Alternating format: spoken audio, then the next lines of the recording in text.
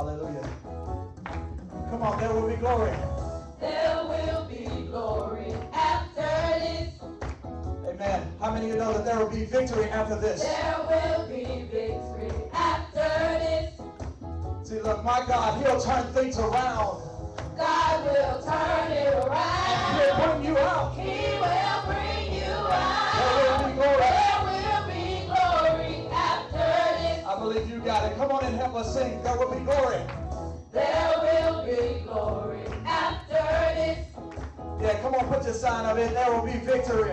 There will be victory after this. Come on, I don't think y'all really mean it. Because, see, my God, He turned things around. God will turn it around. He will. He will bring you There will be glory. There will be glory after this. Watch this. See, my God, He specializes Specialized in things impossible. things impossible. And He loves to He move loves to move when all your hope is hope is lost. That so He just won't give up. He Won't show Himself. himself on your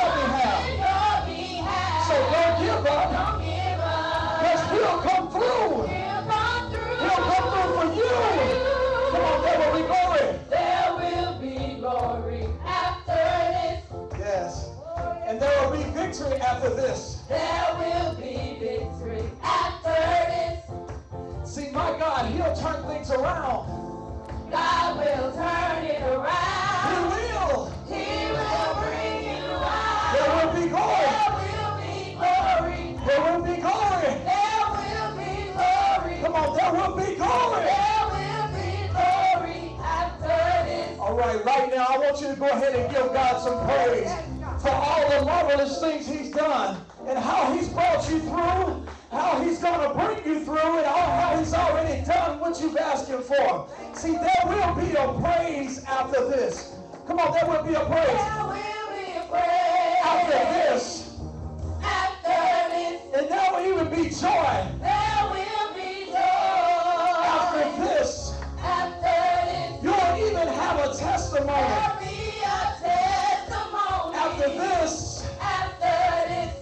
There will be glory there will be glory. after this. After this, Come on, there'll be a praise there will be a praise. after this. After this, Keith, I'll even have my joy there will be joy. after this. After this, Yeah, see, you'll even have a testimony. there'll be a testimony. after this. After this, Yes, and see, there'll be glory after this. After Come on, we're going to say right there and say after this. after this, Can you help me say after this? after this, Yeah, see, every test and every trial after this. Yeah, one more time after this. after Come this, on, let's say there'll be glory.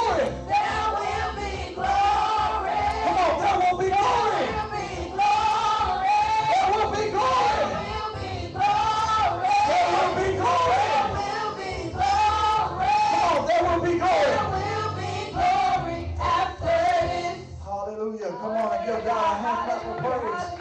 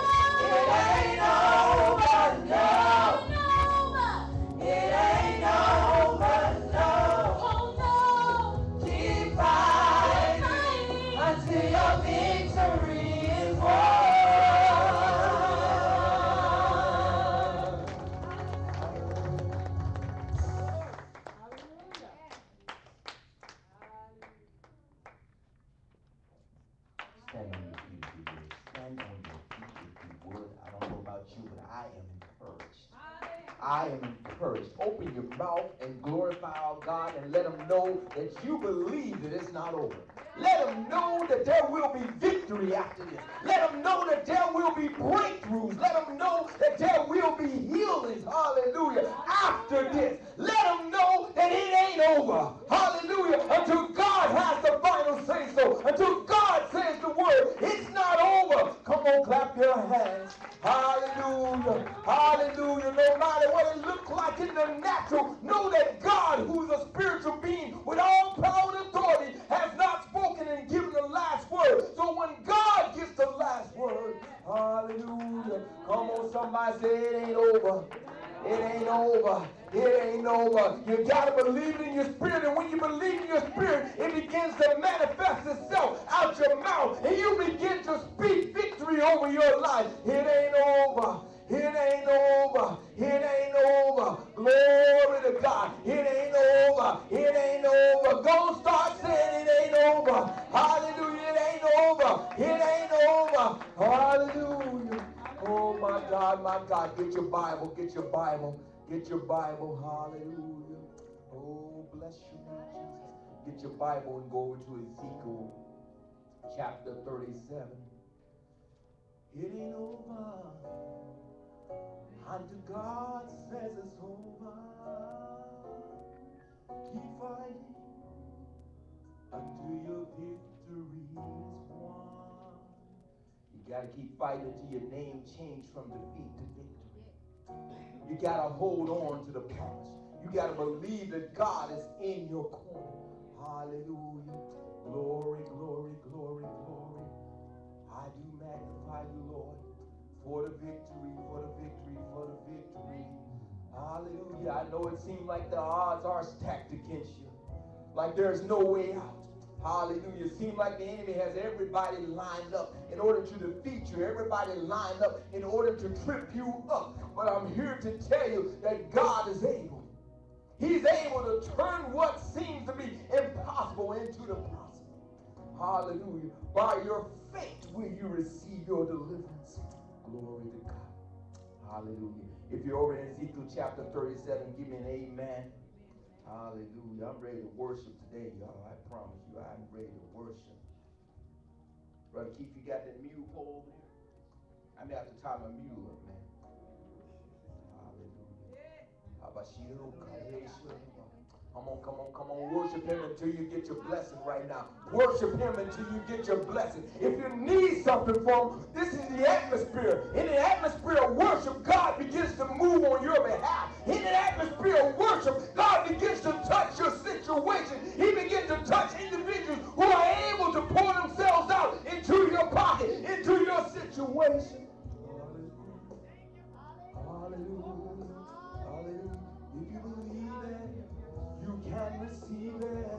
Keep fighting until victory is won. Oh Lord. Hallelujah. Hallelujah. Oh Lord. He can. Hallelujah. Yes, yes, yes. You're ministering to me. You're ministering to me. Hallelujah. Come on, come on, come on, come on. Yeah, yeah, yeah, yeah, yeah, yeah. Breakthrough, breakthrough, breakthrough. Hallelujah. Hallelujah. God can do it. God can do it. Hallelujah. Glory, glory, glory. Hallelujah. Bless your name, Lord. Hallelujah. I like what was being said this morning. I tell you, I'm just so moved because, you know, it, it says there will be blessings after this. This is just a situation. You're just going through a situation. You are a spiritual being, huh? You are a spiritual being going through a physical situation, but guess what? The spirit already has the victory. Glory to God. Hallelujah. Oh my God. It ain't over. Hallelujah. Amen. Let's move on into the word of the Lord. And this is just so fitting. Everything that's even occurred on today is so fitting for me to be able to minister to you today what the Lord has dropped into my spirit. Hallelujah. Ezekiel chapter 37. Hallelujah. I'm going to take those words and I'm going to, to teach on this morning, you guys, some principles here that are going to really bless you. Ezekiel chapter 37, and guess where we start at? Verse 1. Hallelujah. Hallelujah. Ezekiel chapter 37. Once you're there, go and give me an amen. If you're not there, bless God. Hallelujah. Girl, don't you start nothing now. We don't do nothing. You got that mule pole in the ground real good with concrete. Woo. Hallelujah. I'm there. Bless the name of our God. Hallelujah. God is doing a new thing. Ezekiel chapter 37, the word of the Lord reads as so. The hand of the Lord was upon me and carried me in out in the spirit of the Lord and set me down in the midst of the valley which was full of bones and caused me to pass by them round about. And behold, there were very many in open valley, and lo, they were very dry. And he said unto me, Son of man, can these bones live? And I answered, O Lord God, thou knowest. Again he said unto me, Prophesy unto these bones, and say unto them, O ye dry bones, hear the word of the Lord. Thus said the Lord God unto these bones, Behold, I will cause breath to enter into you, and ye shall live. Give the Lord a hand clap of praise as you take your seat. Hallelujah. And Father, we thank you for your word today. Let your word go forth and bless your people. In the name of Jesus. Amen. Amen. Good morning to everyone. I am just so encouraged by what God is doing. He's yet blessing in the midst of situations. The government may have shut down, but guess what? My God is still in business. Hallelujah. Amen. Amen. As we examine the scripture above, as we examine the scripture above, a very familiar so- story begins to unfold. Here we have the prophet Ezekiel. The prophet Ezekiel, he was a prophet of Israel during a very trying time in Israel's history. The Israelites were in Babylonian captivity. They, they were being slaved out. Israel was in a terrible situation. But Ezekiel, Ezekiel was a man who was different. He was a prophet of Israel, and he came from the bloodline of the Levites. He came from the bloodline of the Levites, of the tribe of the tribe of the Levites, and he was a member of the family line called Cohen. He was one of three major prophets who prophesied at this particular time. There are three major prophets whom Ezekiel must have been familiar with. We're talking about the prophet Daniel. Hallelujah. Amen. We're also talking about the prophet Jeremiah. Ezekiel was probably contemporary of these people. But in this story, Ezekiel says something interesting. First of all, he was challenged by God to speak by faith to these very dry bones. How many of you got some dry bones in your life and you know you need to speak by faith to those dry bones and to cause those bones to begin to live? We all go through dry periods in our lives, times of depression, times where as we get discouraged, times where as we don't know which way to turn. But there are times in your life when you go through these things, these trying times, is not to destroy you. These times are to build you up and to bring you out and to cause you not to fail again. These times, these times are, they're very trying. They're very trying. In this story, though, Ezekiel says something interesting after God had challenged him to speak by faith to these dry bones. Look at this. God said, Son of man, can these bones live? Can these bones that were once flesh enclosed, can these bones that, that, that were once filled with muscle, can these bones which have become bleached by the very sun, can these but wants you to believe that his word will be fulfilled. God will take you to jail so he can show you he can free you. God will take you, God will take you to hell to show you that he can deliver you. God will take you to cancer to show you that he can heal you. God will take you to unemployment to show you that he's a way maker out of nowhere. God will take you to brokenness. Oh my God. He will take you to hunger to show that he can feed you. This is the kind of God that we serve. Hallelujah. Right. Hallelujah. Ezekiel seemed to have said with a certain bit of uncertainty. And don't get mad at Ezekiel, because we get the same way too. We speak in terms of lack of faith, not in terms of faith. Right. We begin to speak and prophesy death to ourselves when God said we should speak life. Huh? We begin to speak and tell our children they're going to be absolutely nothing when God says you need to tell them they're going to be everything. Huh? We begin to, we have our doubts and stuff, and we allow our doubts to drive us, my God. And when you begin to focus in on your doubts, what you focus in on becomes your God. Huh? What you complain about becomes what leads you, what guides you, what directs you. Whatever you are worried about is what you're going to draw to you. Yeah. Oh my God. Somebody better hear what I'm saying here. Somebody hear what I'm saying. When you begin to speak life to your situation, you draw life to your situation, huh? When you begin to say, I am a winner and not a loser, you become a winner and not a loser. When you begin to say that I am a lender, not to borrow, you begin to get fat bank accounts. When you begin to believe God in spite of what it looks like in the natural, God begins to move on your behalf. Oh my God, my God. Oh my God. We spend so much time talking about there is no way instead of saying He is the way. We spend so much time saying that I've already been defeated instead of believing that we've already been victorious. We spend so much time worrying about how things are going to turn out when God says, I shall supply all your needs according to my riches in glory. Oh my God, we spend a lot of time being worried about things. But Ezekiel spoke in terms of uncertainty here, though. He deferred the answer back to God. As he deferred the answer back to God, it is indicated there was a lack of faith in his life there. Oh, you probably missed it there, but it was indicated there because Ezekiel said, Lord, you know. Lord, you know. When God is telling you that you should know, that you should believe, that you should say, Yes, Lord. Huh? You say, Yes, Lord, when it seems like it's impossible. Huh? When the odds are stacked against you. Oh my God. When the doctor's giving you a bad report, when the doctor said that you have sugar diabetes, the doctor said that you have cancer, we spend so much time claiming and talking about my cancer, my diabetes, my illness. Stop saying mine. Start declaring as if it's not even there in the first place. When you go to the doctor, you may say, uh-huh, yeah, yeah, they say it's there, but I believe God. Oh my God, my God. I'm telling you, the power of the tongue is something else. You begin to speak that thing, boy, I tell you what. Woo. I've seen skinny people become big because they begin to speak saying they were big. Huh? Okay, amen. I've seen ugly people become pretty because they begin to say I'm pretty. Huh? When you begin to speak things into your life, those things begin to manifest themselves in your life. The issue is that we go focus in on the problem and not the promise. Huh? That we can start focusing in on the promise of God and stop being so focused on what is the problem. Oh my God. Oh my God, God. Hallelujah. So Ezekiel said this thing. He's like, Lord, you know. You know. You know, Lord. Lord, you know. Ezekiel spoke with uncertainty.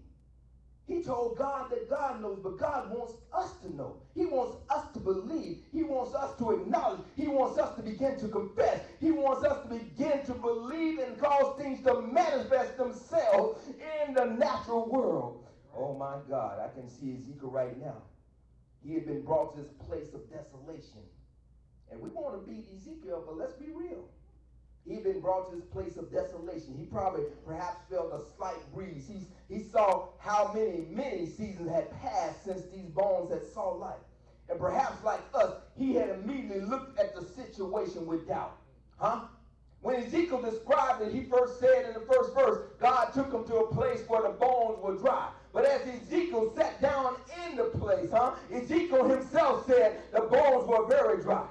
Huh? Look how Ezekiel caused the problem to be escalated by looking at the downside of it instead of looking at the life that God began to speak. Oh my God, my God. Ezekiel looked at the problem. He looked at the problem. He had been brought to this place of desolation. He had saw how these bones had been there a long time. And as he looked doubtfully at the situation, his focus became his own limitations instead of God's possibilities. We get to that point, don't we? We begin to, the, to a point where it's, it's all dependent on me. If I don't do it, it won't get done.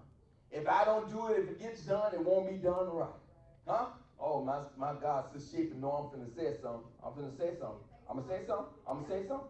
Can I say something? Huh? I'm gonna say something. I'm gonna say something. There are many ways to skin a cat, and each and every way hurts.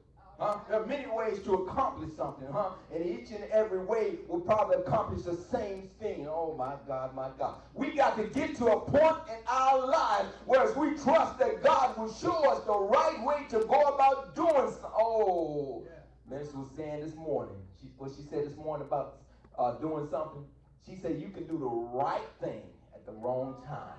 Huh? There's a song you used to sing something like that. Done the right way at the wrong time. Oh, never mind. Never mind. I'm looking for somebody about my age. You remember that. Amen. Huh? There are times in our lives where we are told to do the right thing, but God wants us to hold back for a moment until He sets the situation up so that the right thing will become the right thing and not a curse in the lives of others. Oh my God. I'm going to move on with that. My God.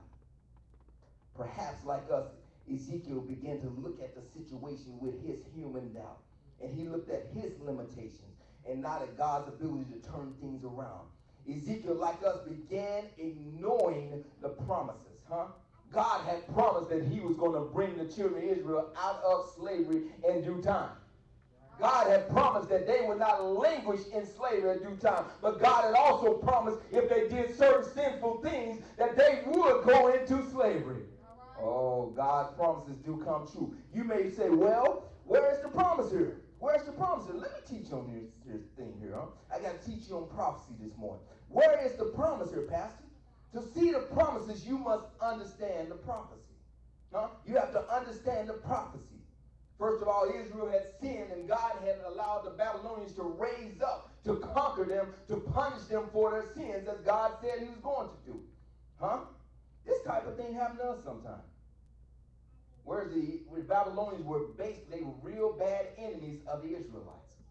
You wonder why sometimes your enemy seems to have the upper hand.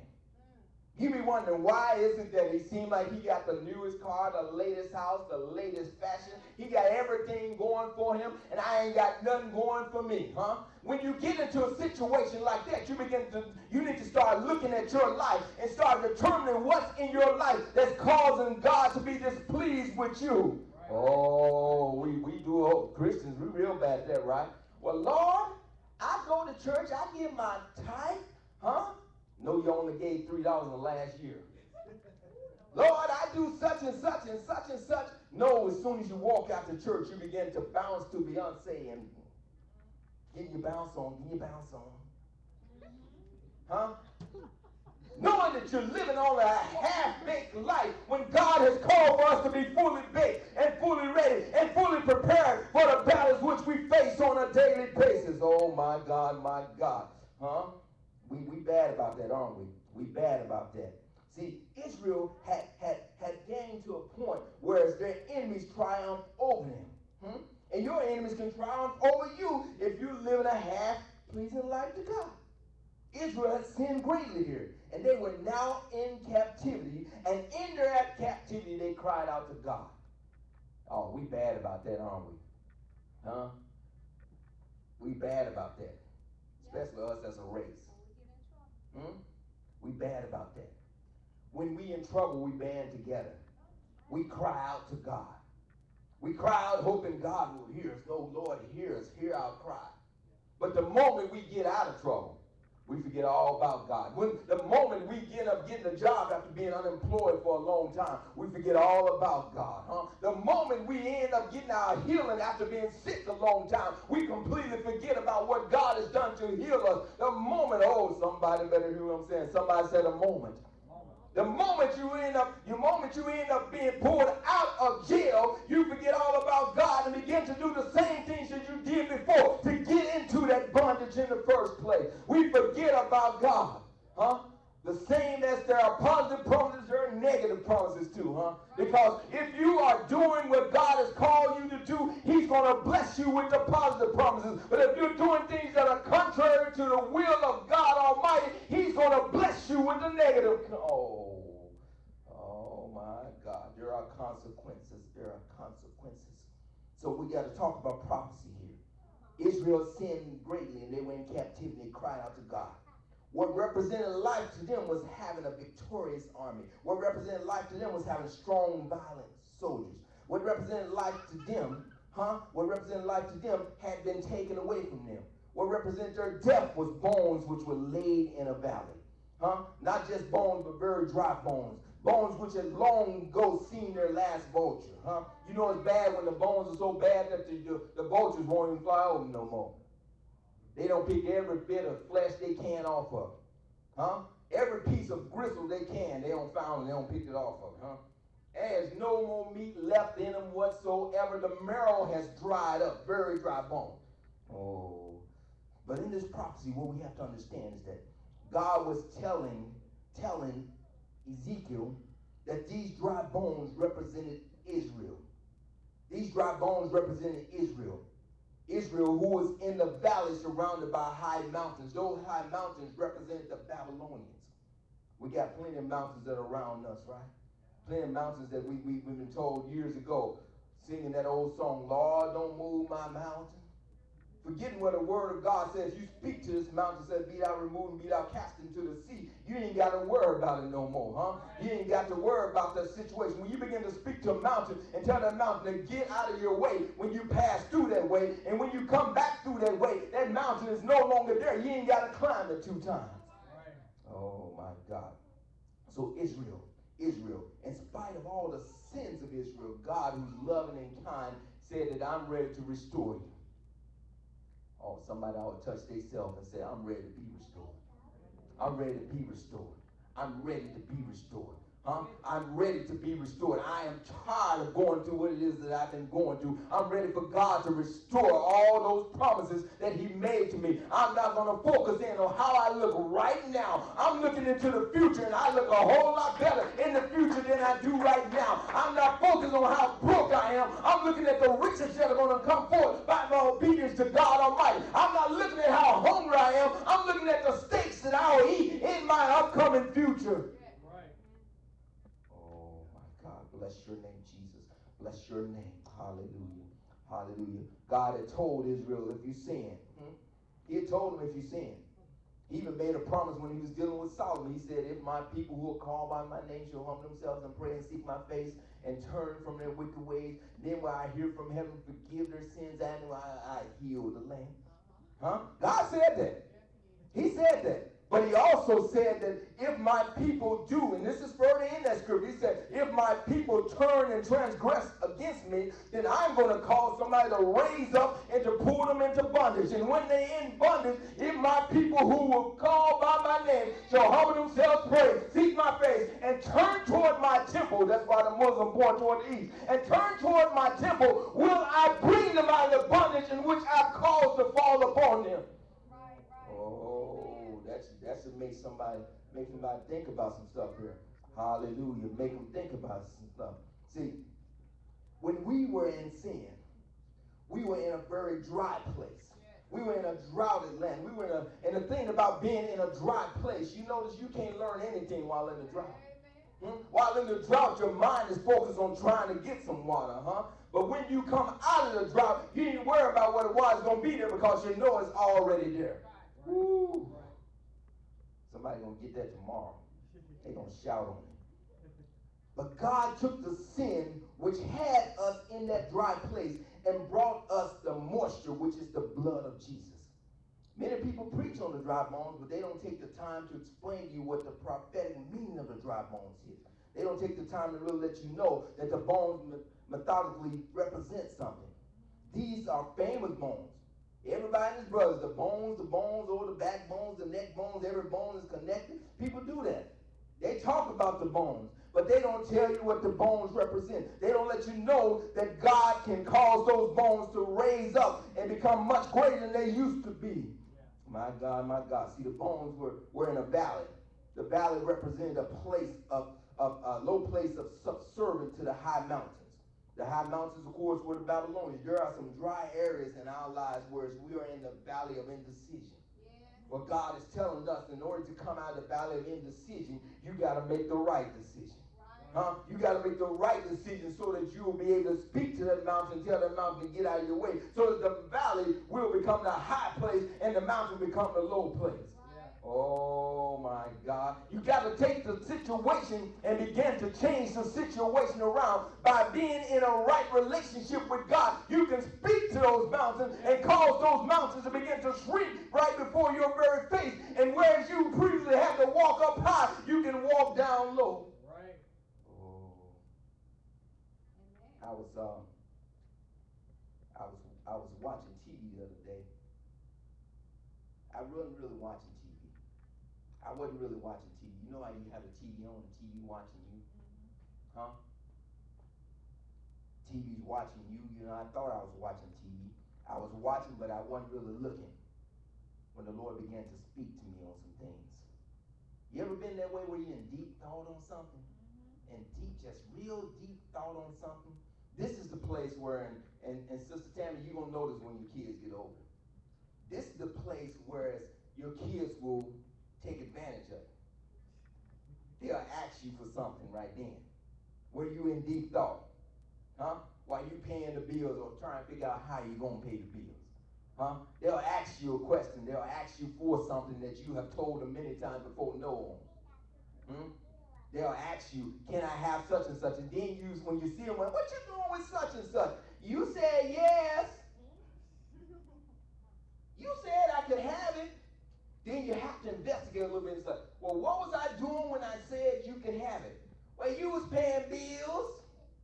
You you were uh, you were holding nitro in one hand and glistening in the other.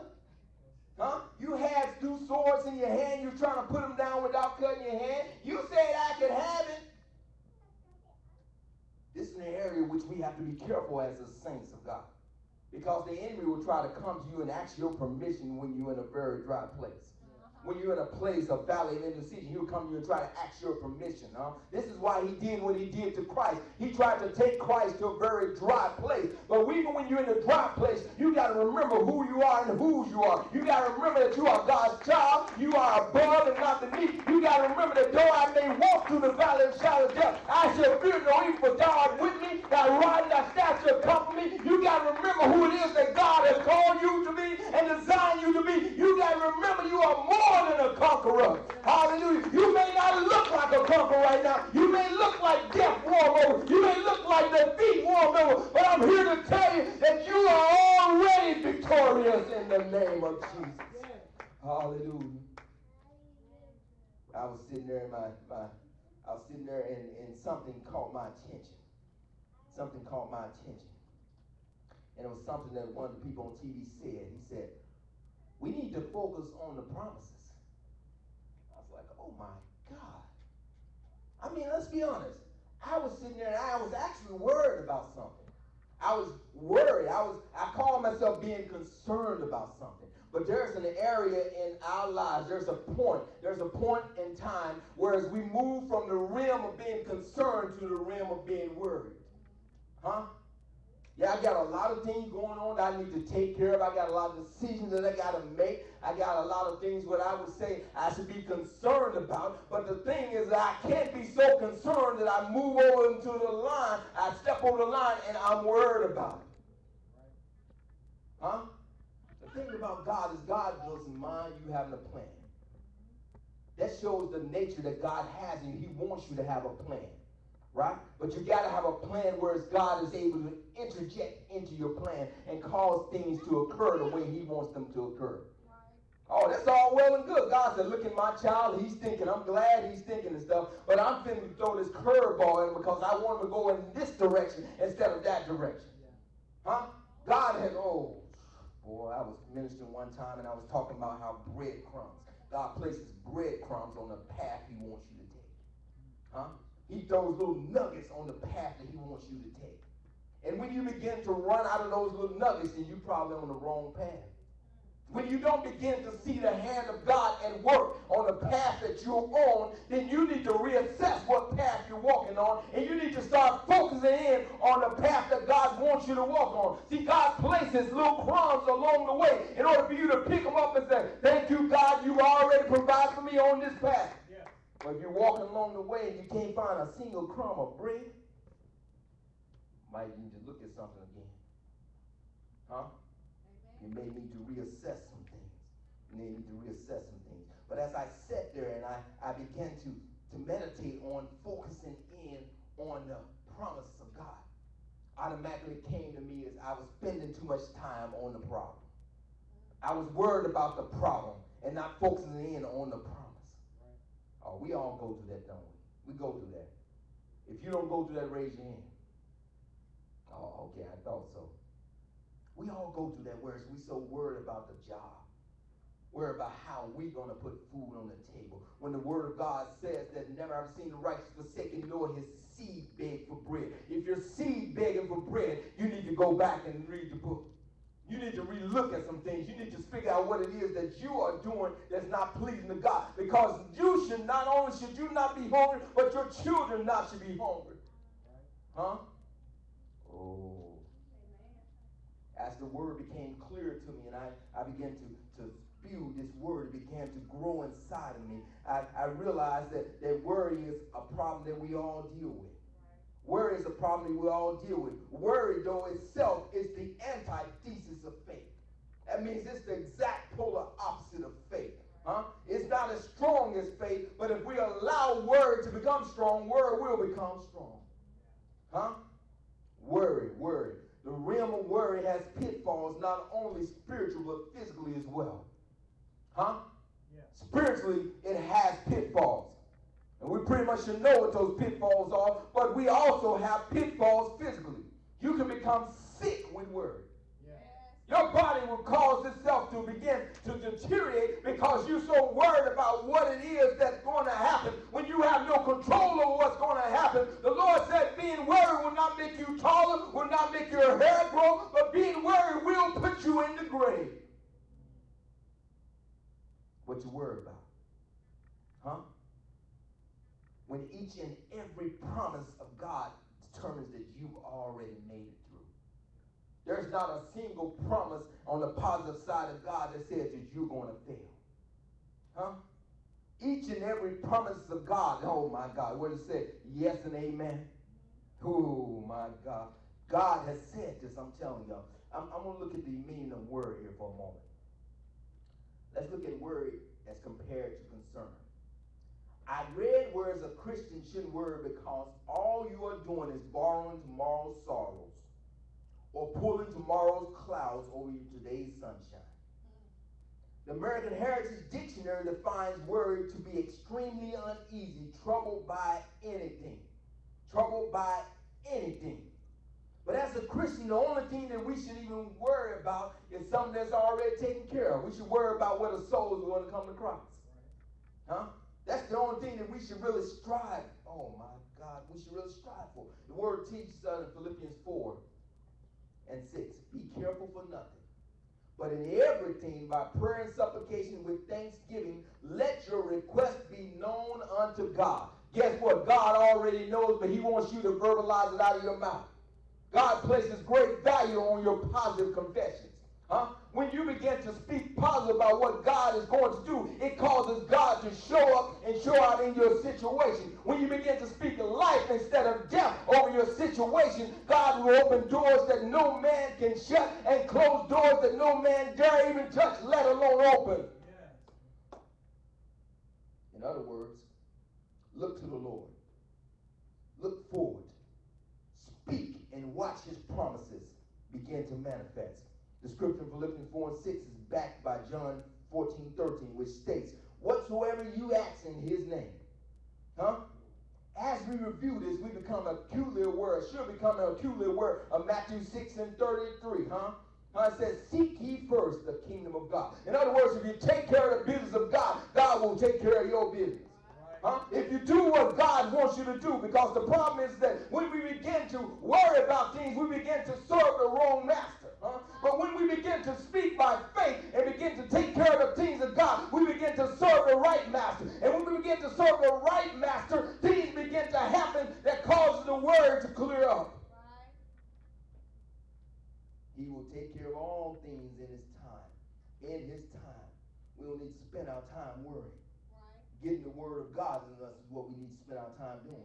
Getting the word of God in our spirit is what we need to spend time doing. Allowing his spoken word to bring forth the blessings. I, am one that believe in boomerang blessings. I believe in boomerang blessings. You know, you know what boomerang blessing is? Huh? I need something. It's over on this side of the room. I began to speak the word. Come here, Brother Keith.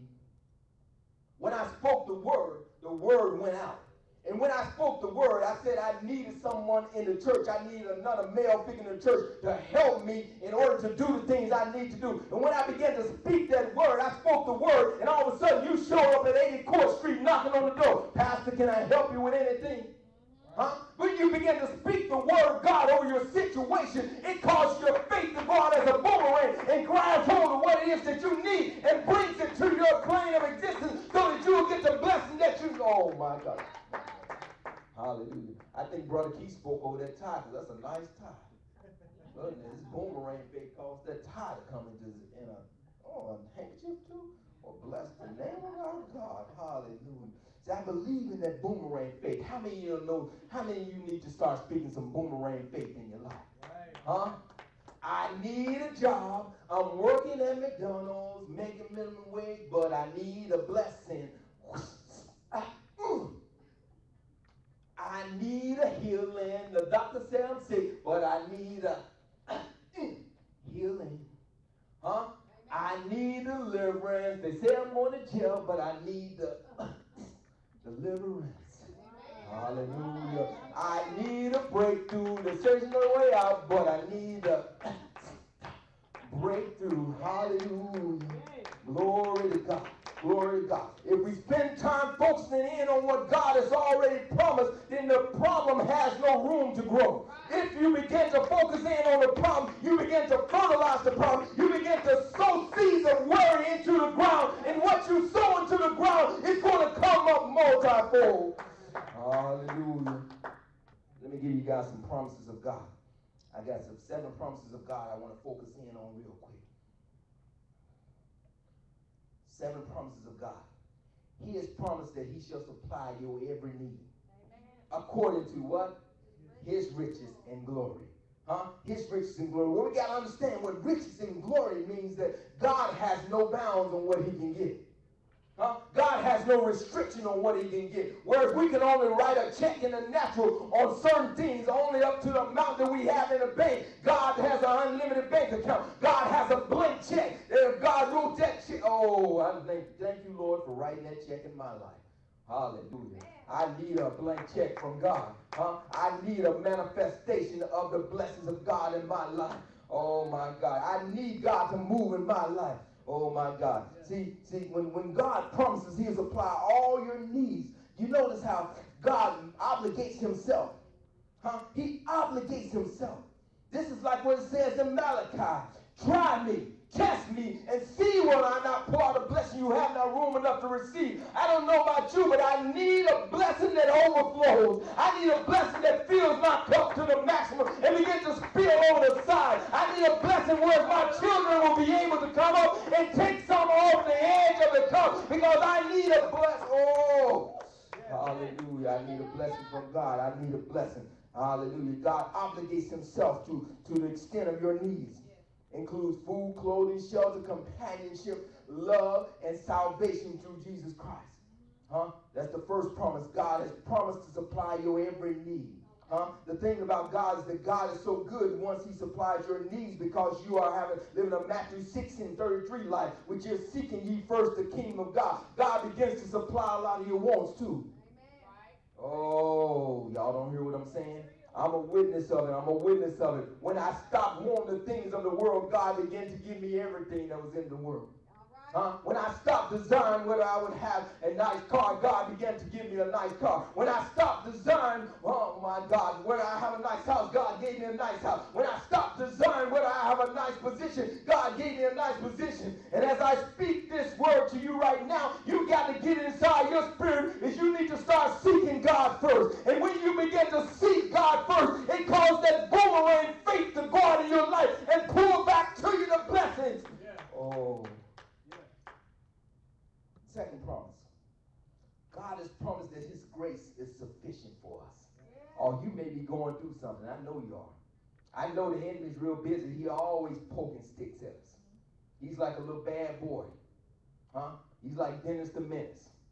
Always poking sticks at you. I know you're going through something, but God says that greater is operating in you.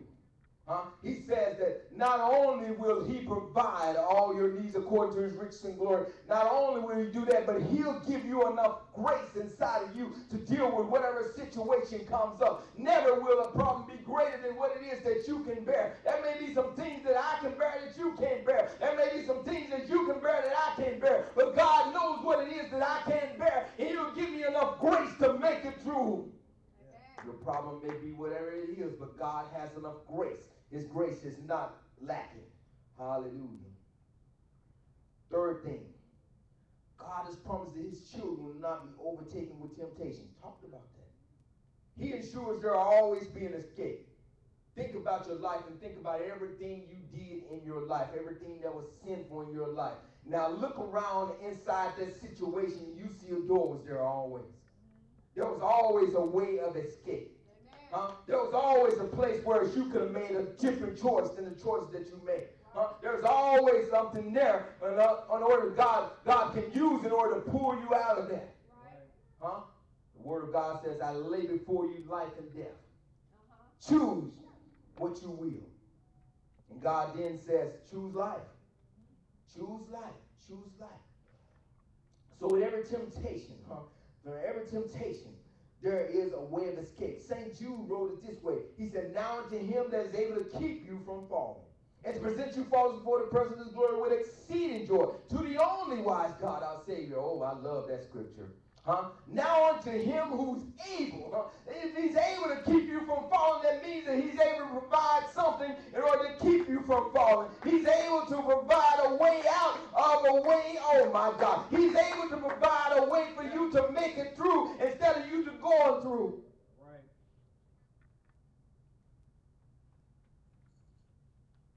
My God, my God. I like what the what the pagan King Darius, king of the Medes, said to Daniel.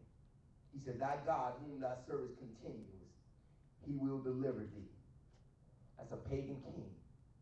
He said, The God, Daniel, which you serve continuously, will deliver you. That's really something when someone who's a pagan begins to speak that over your life, begins to speak life instead of death. The God whom thy serve continuously, he will deliver you. And God did deliver Daniel from the lion's den.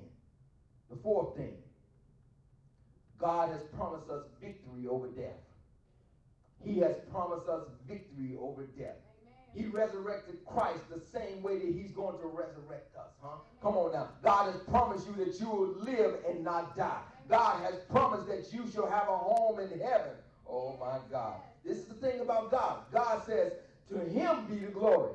To him be the power. To him be the honor. To him be the victory through our Lord and Savior Jesus Christ. Oh my God. You begin to speak things into your life. God is going to manifest those things in your life. When you begin to focus on what God has already done instead of what it is that you're going through. Amen. Fifth thing. God has promised that all things work together for the good of those who love the Lord and are called according to his purpose. All right. Then he said some things. He just said some things. I know we're going through some stuff. There's something going on always. But we've learned to focus in on the promises. Like like this lady who was killed in D.C. That, that just really disturbed me. Right. That bothered me. Seemed like they could have done something more. They could have tased her. They could have chased her down. They could have done anything besides shooting that poor lady.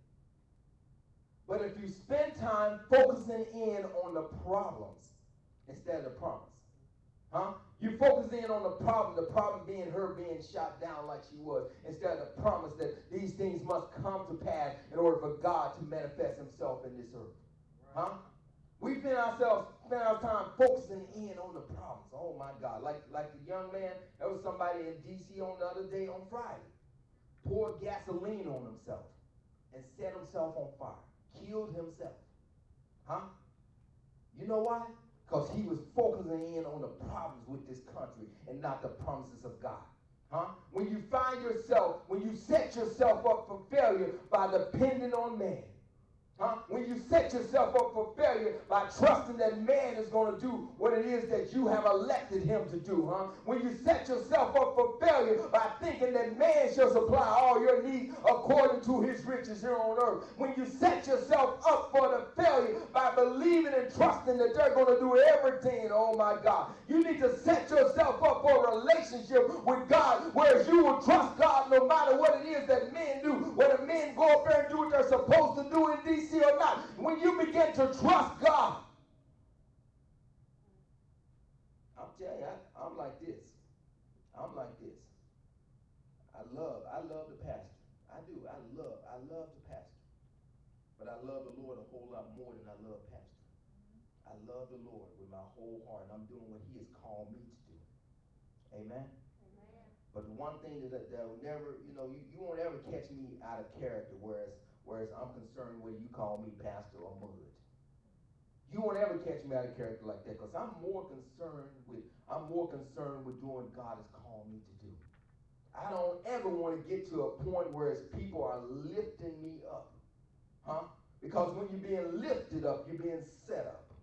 Huh? When people begin to speak all these great things over your life, I take everything with a grain of salt and I make sure I defer all the glory back to God.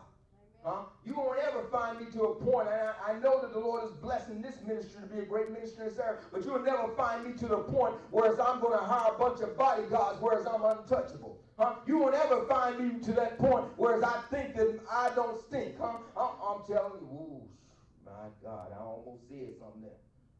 I gonna say something. So shape I almost said something. Hmm?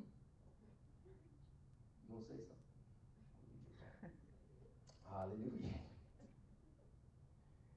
May be difficult for us to see and understand how this is accomplished, how God's everything works for the good of those who love the Lord. It may be difficult for us to understand that during times like this. But we have to still focus in on the promises so that God will deliver us. The 16. God has promised those who believe in Jesus Christ and are baptized for forgiveness of their sins will be saved. God has promised those who believe in the Lord Jesus Christ, that is, believe, not only believe, but confess. Those who, who denounce sin, huh? who denounce the enemy as their master. Because I'm telling you, that's really what it is. When you are not saved and you are serving the wrong master, and the enemy is your master. But when you are saved and you confess out of your mouth the belief that is within your heart that Jesus Christ died for your sins, and you ask him into your life for forgiveness of your sins and for a new direction, a new dance partner, then God is just and faithful enough to bring you out of whatever it is that you've been into. There's no sin too great, there's no crime too great that God cannot forgive you and move you up into, oh my God, this is the kind of God we're talking about that'll make pre, uh, pimps preachers. Huh? This kind of God we're talking about that'll make whores evangelists. Huh? This is the kind of God that we're talking about that will, that will make the worst sinner into the greatest saint. Huh? This is the kind of God that make a thief the greatest giver the church has ever seen. This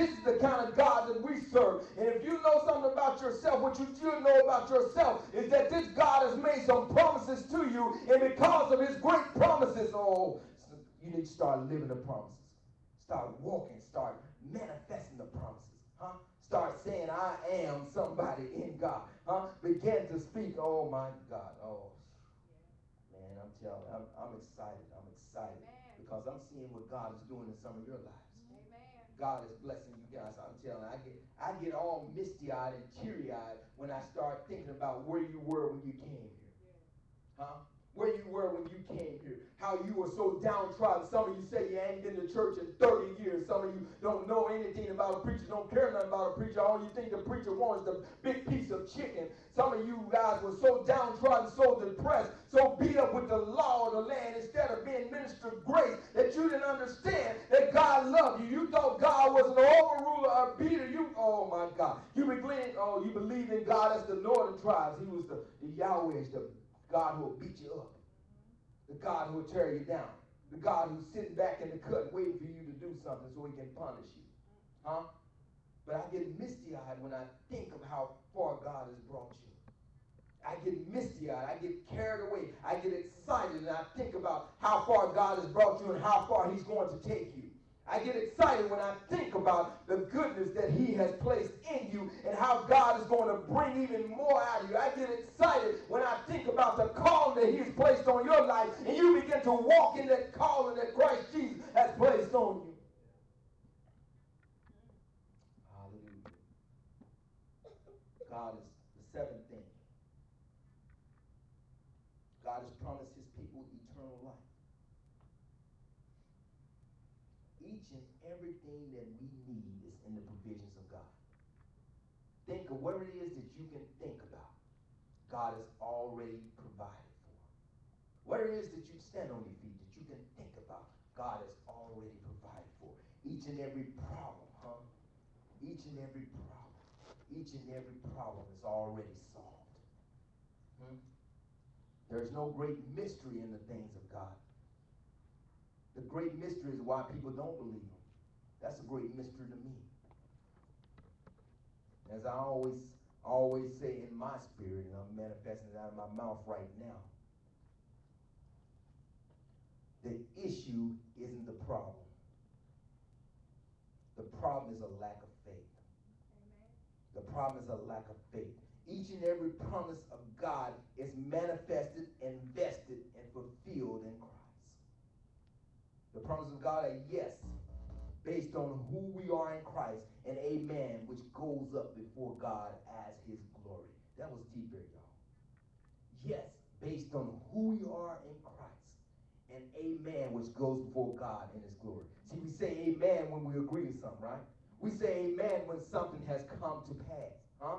When we say amen, we actually put glory up before God. We worshiping God when we say amen.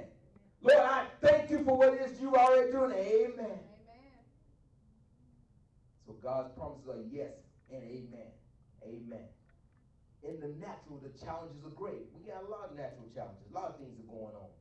But if you can just believe in your spirit, believe in your spirit. You believe that oxygen is there even though you can't see it, don't you?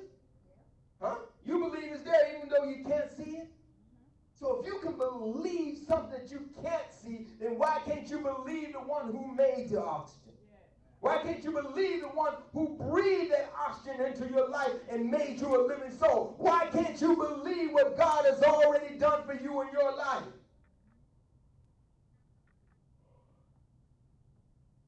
Before the natural is manifested, before the natural is manifested, we got to have belief. We got to have faith. And those who have faith are given authority. They're given authority. If you got faith, you're given the authority. Huh? You're able to speak to your mountains and tell them to be removed and be cast into the sea. You're able to speak to your body. I'm telling you, what I do all the time is I touch my body, I touch my heart, I touch my stomach, I touch all around my body, and I say, You are fearfully and wonderfully made. Get in line with the word of God. Function right, act right, blood flow right. Right. You can call your I, I, uh, Mother Crockett, which I don't, you guys may or may not have met her. She came here. He was, uh, her husband was my pastor in Virginia. She had lived a life where she lived. She grew up real rough. She grew up extremely poor, right here in the state of Arkansas. Grew up extremely poor, where she was the abused of people. People abused her. And when she got saved and filled with the Holy Spirit, fire baptized, speaking in tongues as the Spirit gave utterance, hallelujah. When she got saved, hallelujah. And she grew in the Lord, grew in faith. She wrote some books. And one of the books she wrote was Rise Up, Old Woman, and Deliver Yourself. Huh? That's telling you that no matter how great your situation is, if you are in a relationship with the Lord, you can rise up and cause yourself to be moved. You can rise up and cause yourself to be delivered. You can begin to speak to yourself and cause self to get in line. Amen. Hallelujah. Oh my God. You know, the thing is that when we speak, we need to speak clearly. Speak clearly what it is that we want of the Lord. Huh? We got our angels who are sitting back there waiting, beckoning for us to call on them. Huh? To call them and put them into motion. And when we begin to pray the promises of God, when we begin to declare the promises of God, we place them into motion. But if we don't speak clearly what it is that we need from heaven, then we cause our angels to sit back confused. Don't know what it is that you want. But when we begin to speak the things of God over our life, over our situation, when we begin to speak with clarity what God has already declared about us, then the angels go into motion. They begin to go out with that boomerang. I